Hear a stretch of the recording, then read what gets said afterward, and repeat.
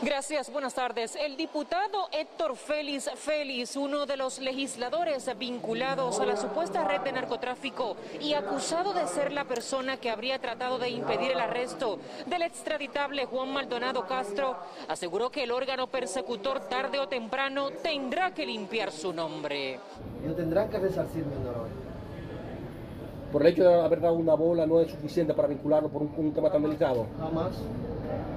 Pese a la gravedad de las imputaciones, el legislador afirmó que está dispuesto a enfrentar la justicia. ¿Ya están preparados ustedes para hablar allá donde usted dice? Sí, ya hablar, hablaremos. ¿Tienen su abogado y todo lo demás? ¿Se han preparado? Estamos preparados.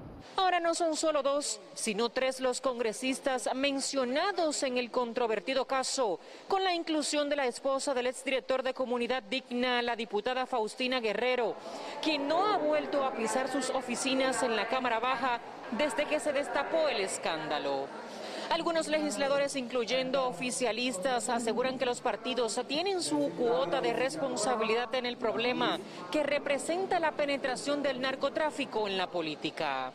Yo no sé cómo es que los partidos aceptan que sin investigar permitan que Juan o Pedro sean candidatos. Tiene que investigar a fondo y decirle a gente, usted no puede ser candidato por tal o cual razón.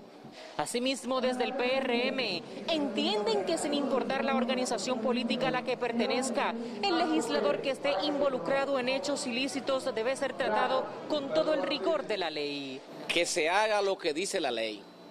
Yo soy un hombre apegado a la ley y respeto y apoyo la ley.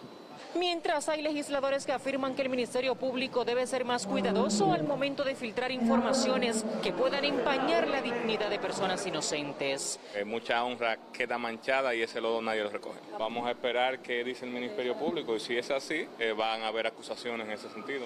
De su lado hay legisladores que dicen que persiste la presunción de inocencia hasta tanto un juez decida lo contrario.